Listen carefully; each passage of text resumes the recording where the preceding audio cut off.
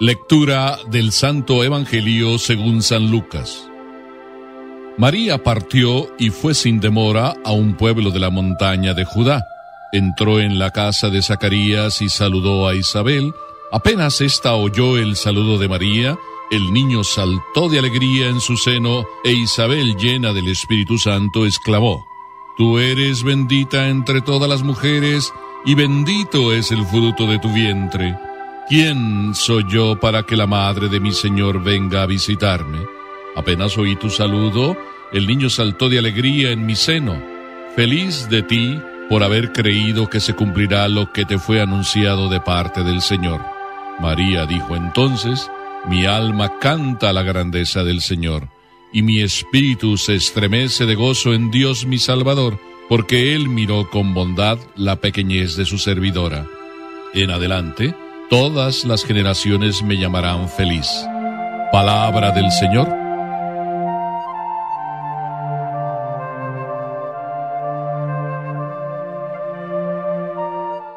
¿Qué quieren que les diga? ¿Quieren que cante con ustedes? ¿Quieren que lleno de felicidad les exprese lo que más profundamente siento en el corazón? Pues cantar no puedo hacer, pero sí puedo decir, ¡Viva la Virgen de Guadalupe! ¡Viva la Virgen de Guadalupe! ¡Que viva la Virgen de Guadalupe! Y así gritando con todo el corazón, puedo recordar aquella historia de Murillo, este pintor famoso, que en los eh, años de su vida, ya hace bastantes, 300 y algo años, pintó las mejores vírgenes que podemos ver en la pintura religiosa, alrededor de unas 30. Y cuando alguien le preguntó por qué es que pintaba vírgenes tan hermosas, me quedó como callado, sí, porque la respuesta que él dio no es más que para maravillarse.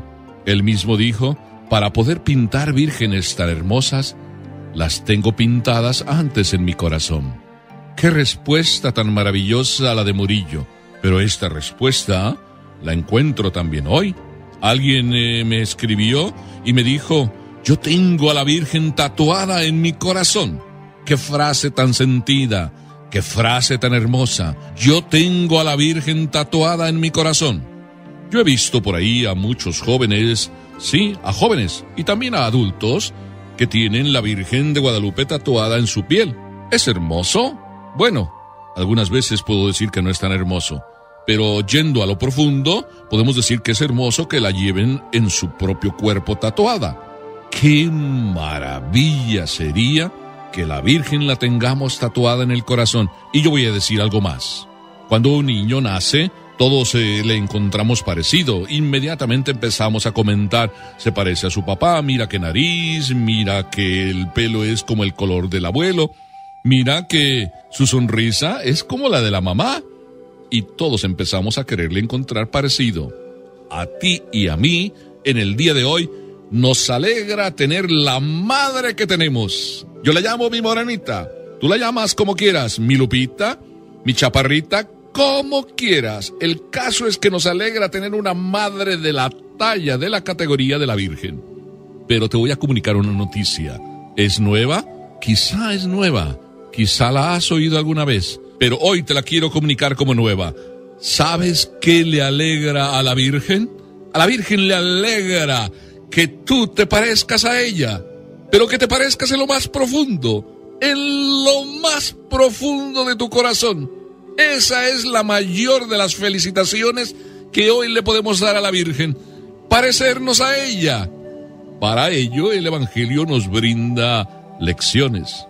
Yo podría titular este Evangelio también Caminos de Felicidad, y sin embargo, al plantearnos este Evangelio Caminos de Felicidad, nos dice entonces cómo parecernos a la Virgen.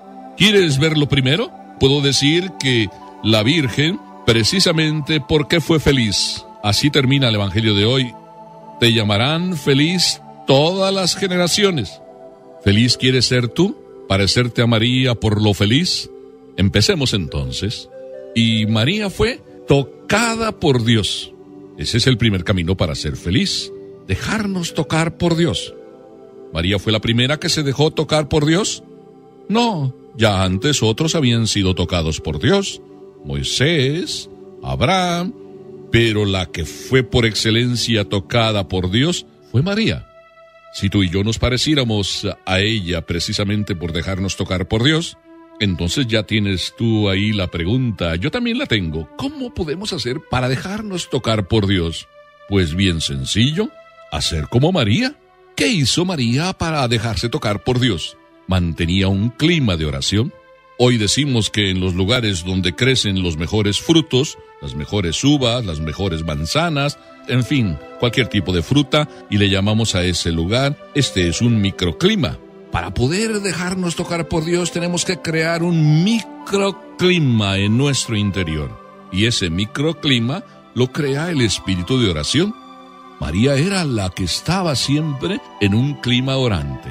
Alguien ha llegado a decir que María era como una rumiante espiritual, alguien que le daba vueltas en su corazón a todas las cosas.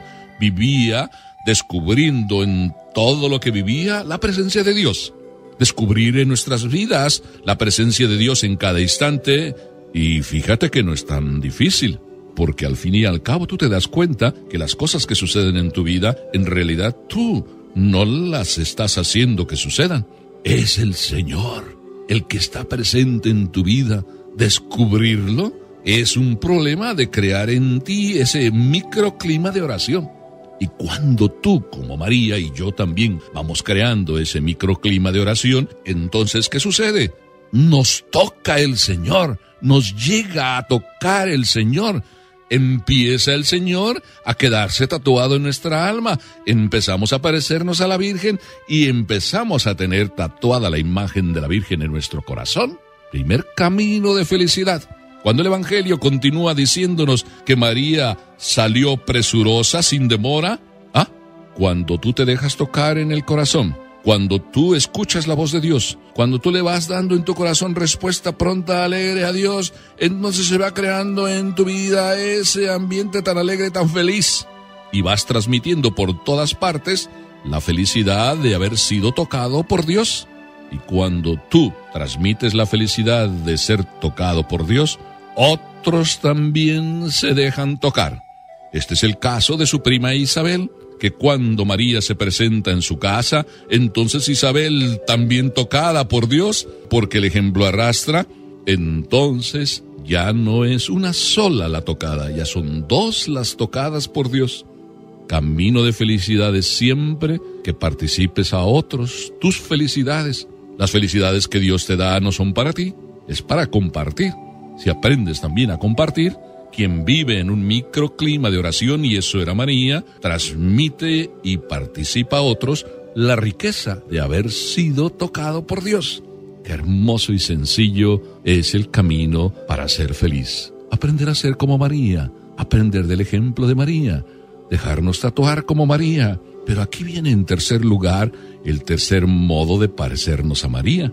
Ella fue bendita entre las mujeres, se lo dijo su prima, bendita tú entre las mujeres. ¿Te has preguntado? Si no, yo me lo pregunto y te sirve para ti mi pregunta. ¿Por qué es que María era bendita y por qué fue bendita entre las mujeres? El ángel se lo dijo, porque era bendito el fruto, el fruto de su vientre, bendito, claro que bendito ¿Cómo no va a ser bendita entre las mujeres la que en su corazón tiene al bendito con mayúscula? ¿A papá Dios? Camino, ya lo ves. Camino de felicidad de ser como María, tener en el corazón al súper bendito con mayúscula, papá Dios. Por eso María nos enseña que si cada uno de nosotros va teniendo en su corazón a papá Dios, bendito también es cada uno de nosotros y teniendo a Dios nos parecemos a María. Te parecen bien sencillas estas palabras, ya lo sé.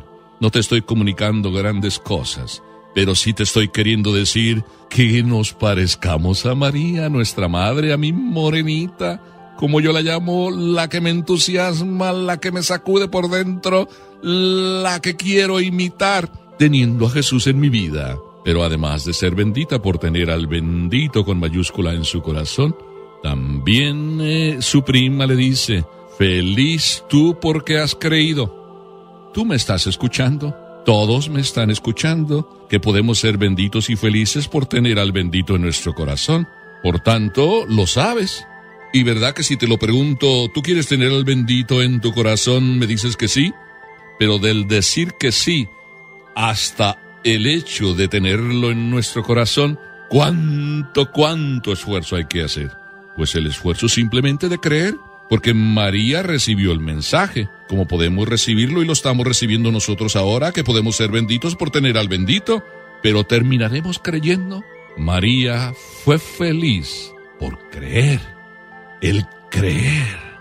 ¿Te das cuenta? El creer de verdad, no solo con la mente, sino con el corazón, trae la felicidad. El creer con el corazón nos hace parecernos a la Virgen. El creer con el corazón nos hace tener a la Virgen tatuada en el alma y tatuado al bendito que ella nos trae. Pero también se me ocurre en cuarto lugar que feliz fue María también por ser agradecida. Cuando tú no solo recibes y recibes a diario muchas cosas, sino que en ese microclima del corazón vas descubriendo que todo lo que tienes lo recibes, que nada de eso mereces y María eso era, en su corazón descubría que todo lo que tenía era gracia, era don y que lo que iba haciendo también era don. Entonces lo más espontáneo para María cuando Isabel estaba diciéndole todas esas cosas, lo más espontáneo era agradecer. Y era también feliz por agradecer. Tú y yo, como María, como mi morenita, como la Virgen, tú y yo podemos también aprender de ella y parecernos a ella siendo agradecidos. Y cuando tú eres agradecido, ya estás otra de las cualidades de María teniéndolas tatuadas en tu corazón. Y eso también es una grande felicidad, camino para gozar. Perdona porque me entusiasme, pero es que mi morenita me ha sacudido y me sacude todos los días el corazón. Y al sacudírmelo yo también quiero que tú te sientas sacudido por esta madre tan hermosa que tenemos que la imitemos, que aprendamos de ella, que no solo digamos qué buena madre tenemos, eso a María le alegra que digamos que qué buena madre tenemos, pero a María le alegra sobre todo que la imitemos. La mayor felicitación en el día de hoy es que le demos las mañanitas, sí, pero que nuestro corazón se parezca hoy un poquito más al de ella. Entonces sí que es realidad lo que Murillo decía, para poder pintar vírgenes tan hermosas, las tengo antes en mi corazón. Para poder eh, alabar a María y decir que qué buena madre tenemos, cada uno de nosotros debe decir como esta mujer que me escribía, yo tengo a María tatuada en mi corazón. ¿Tú ya has llegado a tatuar a María en tu corazón? En tu piel yo sé que a lo mejor ya la tienes tatuada, como algunos, pero lo más importante es tatuar a la Virgen en tu corazón, pareciéndote a ella cada día, imitándola en alguna de sus virtudes. ¿Qué te parece? Yo hoy te sugeriría solo una cosa, y quizá ese es el camino para el resto. Aprender a tener en el propio corazón un microclima, el clima de la oración, para que llegue a tocarte, Papá Dios, tú seas una tocada, tú seas un tocado por Dios, y al haber sido tocado por Dios, te toque tocar al mundo. Solo los que están impregnados de Dios viven a lo divino y solo los que viven a lo divino transmiten felicidad. Qué bueno que María sea nuestra madre, pero más alegría es que nosotros nos parezcamos a ella y precisamente que esa sea nuestra felicitación en el día de hoy. Amén.